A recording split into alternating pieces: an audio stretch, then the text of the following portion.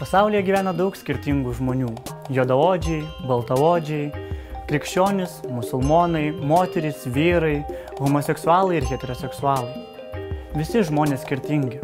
Ir tos skirtybės daro pasaulį įdomesnį ir spalvingesnį. Jis skatina pažinti jį ir domėtis tuo, kas nepažinta. Koks būtų pasaulis, jei jame nebūtų skirtingų žmonių - senelių, vaikų, jodaodžių, musulmonų, storulių, jis būtų kur kas pilkesnis ir nuobodesnis, nes mes visi būtumėm vienodi.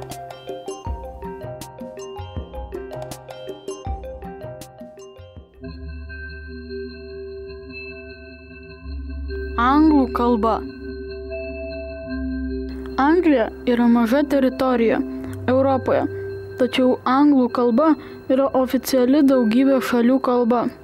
Tiesą sakant, tai pasaulio kalba. O kaip viskas prasidėjo?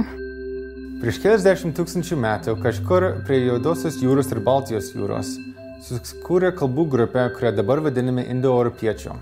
Iš čia indoeuropiečių kalbos išplito per visą Europą, Aziją, Šiaurės ir Pietų Ameriką, Afriką ir Australiją. Nu, per visą pasaulį. Vienas iš Skandinavijos susikūrusių dialektų atskilo ir maždaug 5 amžiuje iš jos susiformavo anglų kalba. Jau tada anglų kalba buvo labai lanksti ir lengvai pasiskolindavo iš kitų kalbų žodžius.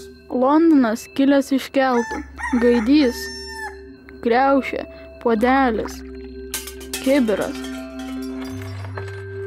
inkaras iš senovės romėnų kalbos, peilis, šaknis ir dar keli tūkstančiai žodžių iš vikingų, kurie 9-ame amžiuje apsistojo Anglijoje. Pilis, bokštas, kaminas, kepti, virti, jautiena, aviena, dešrelės, teismas, teisėjas,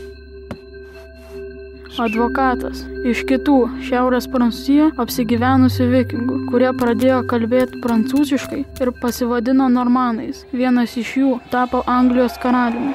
Viduramžiais anglų kalba perėmė iš prancūzų daugiau nei 10 tūkstančių žodžių. Anglijoje viduramžiais buvo gerai išvystyta prekyba, anglai keliaudavo ir prekiaudavo visos šiaurės jūros pakrantės žemėse. Taip iš olandų kalbos į anglų kalbą atėjo daugybė žodžių susijusių su lavininkystė, dėnis, prieplauka ir taip toliau.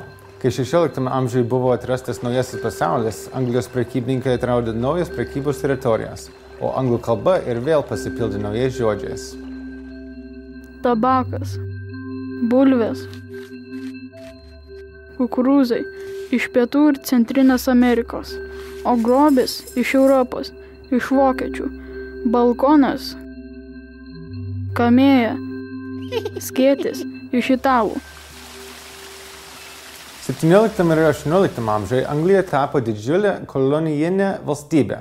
Visoje šitoje teritorijoje buvo kalbama anglų kalba.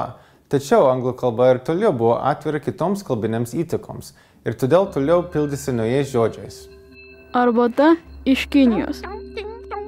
Kava iš Turkijos. Sofa iš arabų. Kušėtė iš persų. Zebras iš vakarų Afrikos. Kengūra iš Australijos. Kakadu iš Indijos. Modernus šiuolaikinis pasaulis pilnas naujų išradimų. Kad įvardintume tuos naujus išradimus angliškai, dažnai pasiskoliname ir pritaikome žodžiai iš latynų ir senosios graikų kalbų.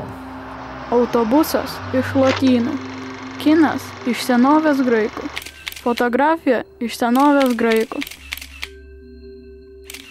Termometras taip pat iš senovės graikų. Anglų kalbai didelę įtaką padarė kitos kalbos. O lietuvių kalba ar atvira kitoms kalboms